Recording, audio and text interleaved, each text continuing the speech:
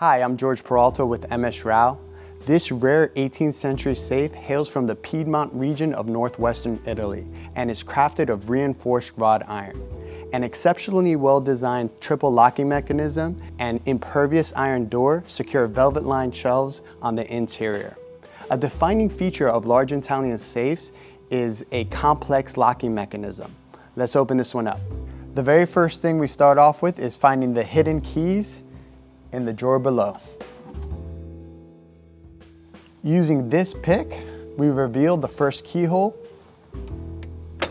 by pressing at that angle. The pick is one of the most important parts of this safe and it allows you to reveal the following two keyholes. Using the same pick, we go to about the middle section of this and we push. We go to the upper portion of the second keyhole.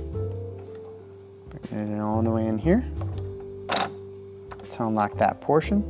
So using the same pick, we go to the lower portion of this third keyhole. Kind of slide it against the side there to hear that lock. Now we move on to actually rotating the locks. We use the top key, insert it fully, rotate once, we go to the bottom one and rotate once. And then we use this final key to open your safe. Also known as a partner safe, this vault's keys would have been distributed among business partners. This resulted in a remarkably high degree of safety requiring all individual keys to be present for the safe's opening. Once the thick impervious iron door is unlocked and open, a fourth key is required to access a large interior compartment for an added layer of security.